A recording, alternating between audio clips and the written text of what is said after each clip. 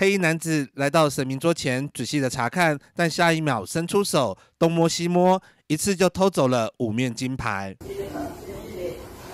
大胆在太岁面前动土，旁边的香油钱当然也不放过。可以看到他刻意用毛巾遮脸，但另一个角度拍到了脸，让大家吓了一跳。金牌是安哪来？嗯，现在假有安来？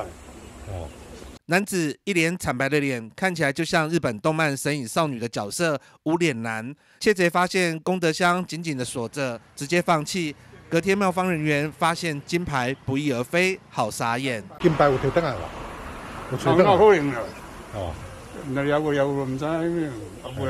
本分局日前受理一起公庙神明的五面金牌遭窃案件。那从监视器画面中发现，窃嫌脸上戴面具，又用蓝色毛巾披挂头上，我遮住脸部特征，研判是惯窃所为。那本分局旋即成立专案小组，我收集各项线索后，锁定犯嫌身份，我于昨日查缉窃嫌到案，并起获。犯案用的油压剪等行窃工具。窃赌这间天后圣母宫就在路旁，深夜人烟稀少，嫌犯利用深夜来报道，下手偷了五面金牌，价值五万元，但事后却以几千元变卖换成现金。警方透过监视器依旧锁定嫌犯。我该名犯嫌，我在行窃的过程中，我除了用这个蓝色的毛巾我盖住头部以外，还用这个口罩以挖两个洞的方式。来遮蔽这个脸部的容貌，来规避警方的查缉。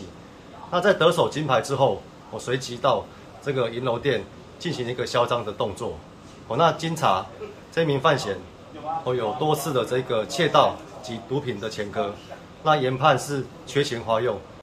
警方调查，嫌犯是一名货运行司机，因为经济有困难才会铤而走险。但窃贼。但偷窃就是违法，还是得乖乖接受司法制裁。记者黄少明，金融报道。